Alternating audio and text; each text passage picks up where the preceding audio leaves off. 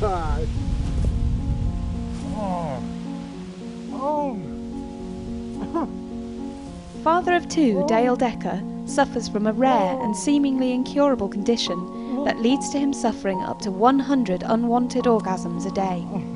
There's nothing pleasurable about it because even though it might physically feel good, the whole time inside your mind, you're completely disgusted by what's going on. And depending on where you're at, if you're in public, if you're in front of kids, if you're around strangers, I mean, it, it can make a person break real fast.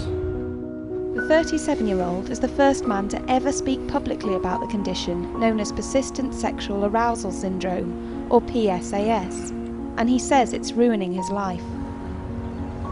When you're on your knees at your father's funeral, at his casket, and you're saying goodbye to him, and then you have nine orgasms right there, while your whole family is standing behind you, just makes you never want to have another orgasm as long as you live.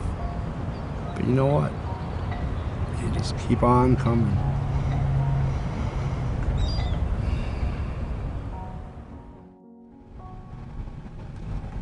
Dale, from Wisconsin in America, was enjoying his suburban life in 2012 when he slipped a disc in his back while getting out of a chair, triggering the condition for unknown reasons.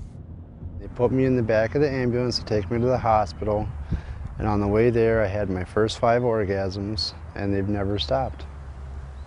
Dale has been unable to work since the accident and is mostly housebound through fear of experiencing an episode in public, but he enjoys playing frisbee golf with his closest friends.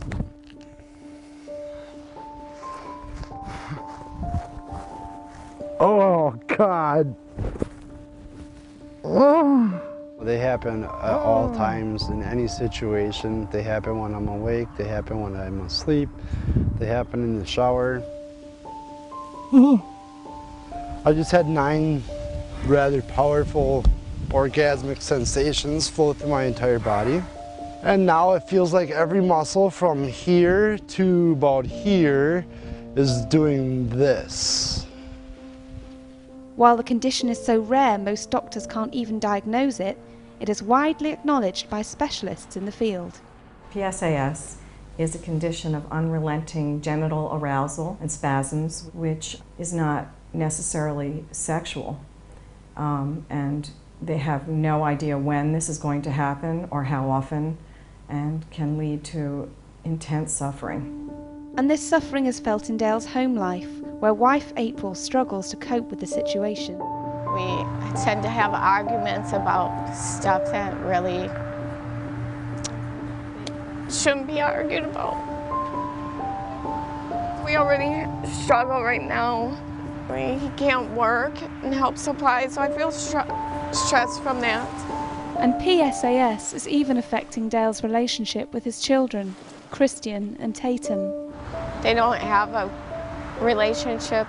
He doesn't go to like practices because he feels embarrassed, and kids don't know about his condition, so the kids don't quite understand why Dale won't be there. The threat of a spontaneous orgasm isn't the only thing that leaves Dale afraid to leave home. Sometimes I have an erection for three, four hours at a time, off and on. They just come and go like 30, 40 a day. It's really hard to deal with. It's possible to have sex with my wife. We don't very often because it becomes frustrating because for me there's no end. Desperate for help, Dale has turned to therapist Diane London to see if she can shed light on the condition. It's destroying every part of everything in my life. When it comes to sexual issues, people get very Mm.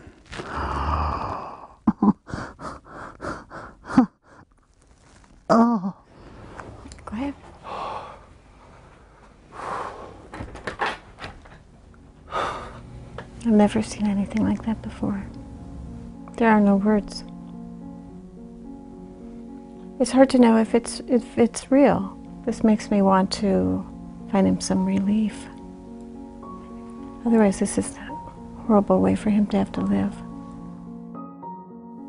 But even in the face of such desperate odds, there is hope for Dale's future. It's uh, very brave of Dale to come out and publicly talk about it.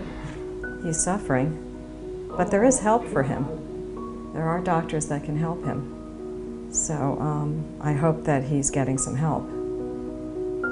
I think the main problem is that probably nobody believes that it's a medical condition. They think it's in his head, and it's not. He's got a real medical problem. I just try to take one day at a time. Hopefully someday, someday, Buddy will come up with something because I would like to get back to my normal life one day and get back to being the person I'm supposed to be into instead of the person this has turned me into.